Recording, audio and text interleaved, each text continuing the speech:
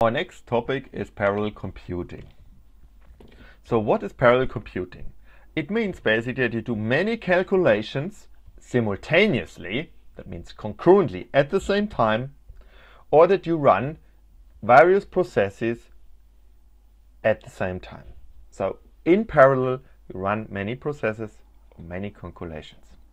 So the goals of parallel computing are to improve performance for an application. So that typically means to allow you to solve a problem within a deadline. For example, to compute the weather of tomorrow, you, you want to do that in a couple of hours, not in three days, because you want to have it ready by tomorrow. Or you want to increase the accuracy, for example, of a scientific simulation, of physics simulations, and so forth. Additional characteristics are that the application system somehow must coordinate the otherwise independent parallel processing units. And there are various programming models for parallel applications. So, and there are also different architectures that allow you to speed up this computation to achieve these goals. One of them is actually to use a distributed system that we already learned from about. There are different levels of parallelism that you can think about when you look from the hardware side. For example, at bit level, that means that you want to process multiple bits concurrently, for example, in an ALU. At instruction level, that means that you want to process multiple instructions concurrently, for instance, in your CPU. You run multiple instructions at the same time. Data parallelism means to run the same computation on, on different data, and task parallelism means to run different computations at the same time. So in practice, there are two paradigms for parallel architectures. And you see mixes of both in real cluster systems. So in a shared memory system, you have one memory that can be accessed by multiple processors. So the memory is shared.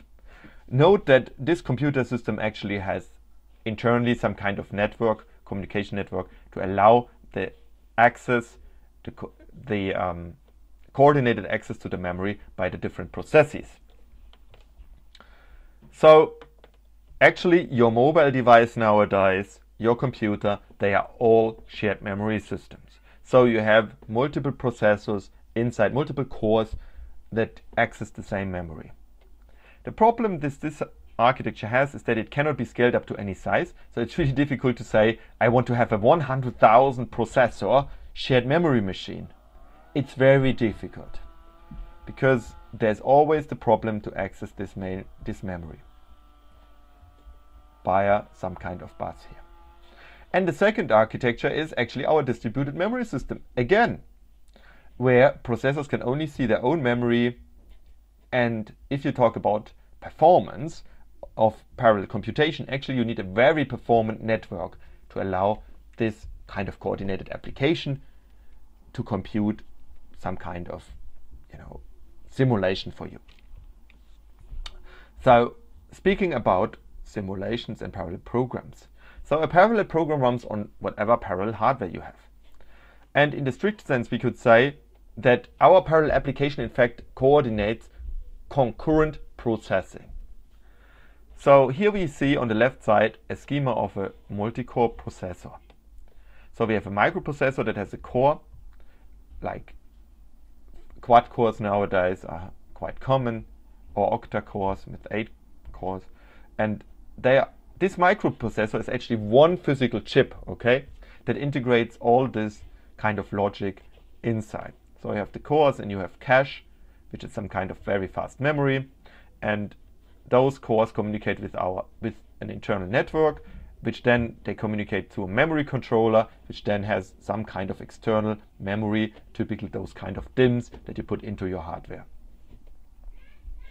So our processor that we see on the left side provides various levels of parallelism. First of all, if you look in one core inside, you would find that you have different multiple ALU systems and other units that can work on concurrently of different kind of instructions.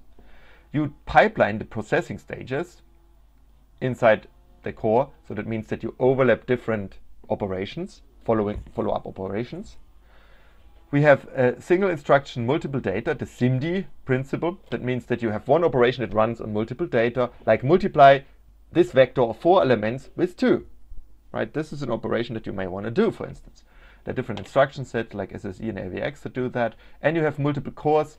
So each of these cores are kind of their own independent CPU logically. That means they have their own instruction pointer and they can work on an independent program. So high performance computing, or in short HPC, is the field that provides massive compute resources for computational tasks. So such a task, right, need too much memory or time to run on a normal computer or server systems.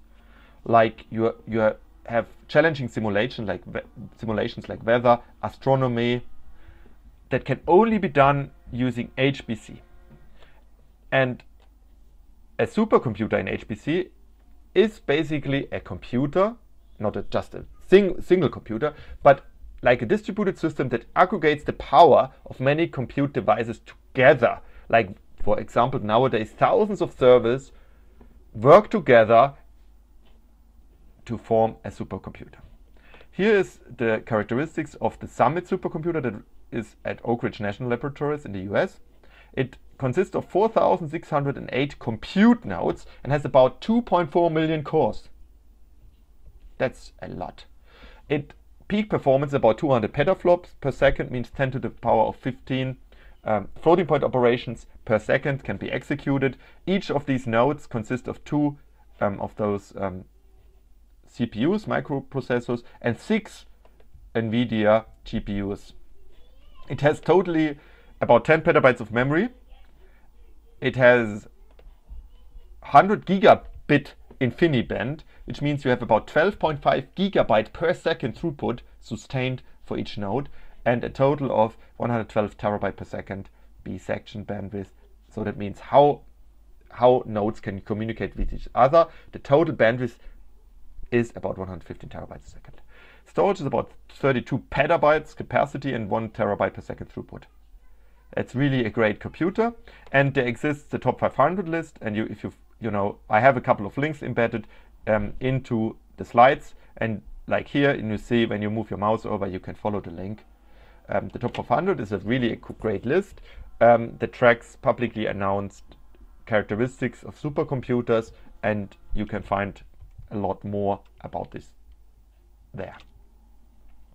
Okay, so how does such a data center look like? Well, it can look really nice like here in this picture or if you go inside and you turn off the lights it's actually a crude set of racks so really a set of shelves basically with computer servers mounted inside cooling noisy and all that and then they are connected using some cables here we see some cable over the ceiling typically the cables are also on the the floor which is um, kind of circulating the air around Okay, so we have these data centers. Physically, this is how they look like. So how do we communicate with and access the resources in there, right? So we are users. Somehow we connect via the internet or the cloud, well, doesn't matter, to the data center, right? Typically it happens, the data center is somehow connected to the internet, of course, so the user can log in into a node here and then perform some operations.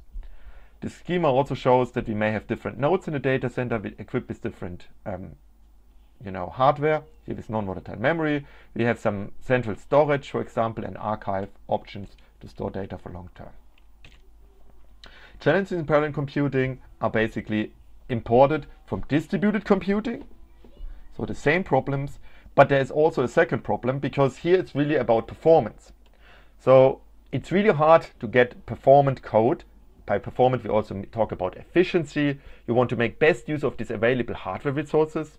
More about it later. And a lot of that means you have to use low-level APIs and do a lot of code optimization, which is hard to do for experts. And it's really expensive and challenging to debug thousands of concurrently pro running processes that work together. You want to utilize these resources efficiently, like I said. That means you want to balance out the load and if you have grand challenges like weather and climate and so forth, it's actually difficult to test, right? To write tests in the um, computer science way because you don't know the true answer, right? If you compute a fusion reactor, how, you know, how, how should it be built? What, what is its characteristics? Well, how do you write a test for it? Well, it's tough. Next challenge is scalability. Um, the scalability is really more hard than for distributed systems because you really are interested in this performance aspect. There are two scalability aspects that are looked at typically. One is called strong scaling. That means you take the same problem and you basically parallelize this further across more hardware. You distribute it wider and that hopefully increases performance, right? And the second aspect is weak scaling. That means you increase the amount of work with the number of processors working, doing this, working on this problem and to retain the time to solution. Weak scaling is much easier to achieve than strong scaling. More about it later again. Okay, the environment in, in high performance computing is typically bleeding edge. That mean, and you have a varying number of hardware and software systems. Sometimes you have obscure special purpose hardware, FPGAs, ASICs, which are application specific integrated circuits and so on. Um, that means it's really hard to administrate because it's bleeding edge, hard to use, and sometimes hard to compare the performance with.